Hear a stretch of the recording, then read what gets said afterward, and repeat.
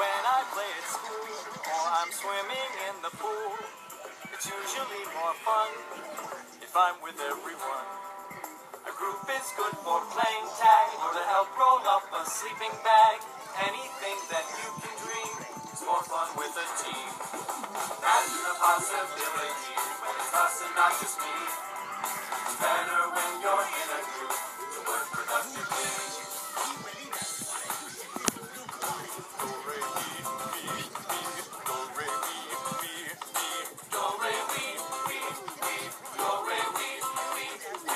mi do re makes we. Soccer, base, or basketball wouldn't be as much fun at all to spend all my time playing if I had no team to play them with.